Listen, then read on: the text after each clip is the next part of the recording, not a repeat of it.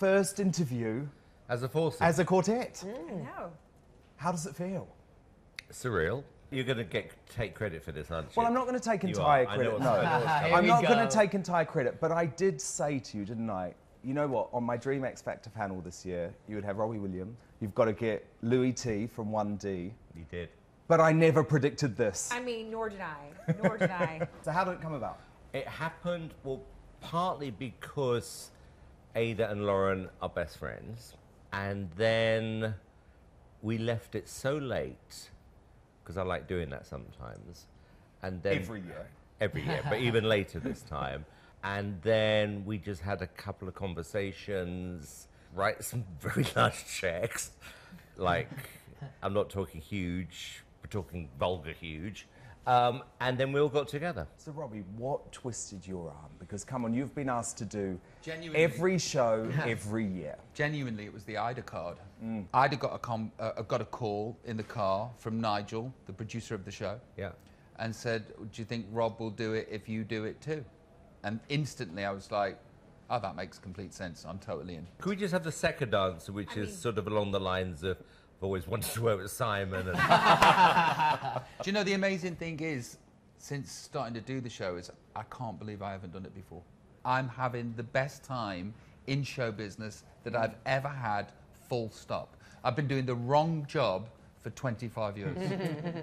Well, Robbie, I think you're going to be brilliant because, of course, you are the man behind X Factor's most famous ever contestant, Honey G. Honey G. Honey G. Also, I was mentor to this fella and his group. yeah. And I was mm-hmm. mentor to Ollie Murs. I'm not saying that it's totally down to me, the success of X Factor and the British music industry, but it's close. And then, Louis, for you, this is a return home. I've always been a massive, massive fan of the show. Obviously, I got my career to thank for it. I can picture myself being there, not delivering the best first audition, but being a bag of nerves. Ayda, for you, how much of a change is this? Because obviously you've been involved in the entertainment industry, Right. but now you're going to be mentoring these Right. acts. It's completely different because it's the music industry versus the mm. acting industry.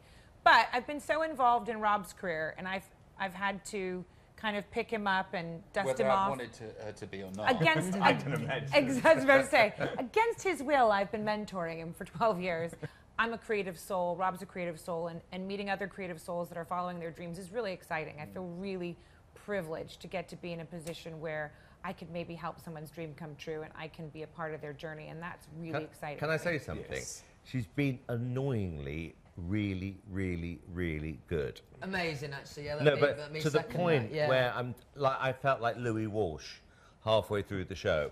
I'm the invisible one. Are you missing him?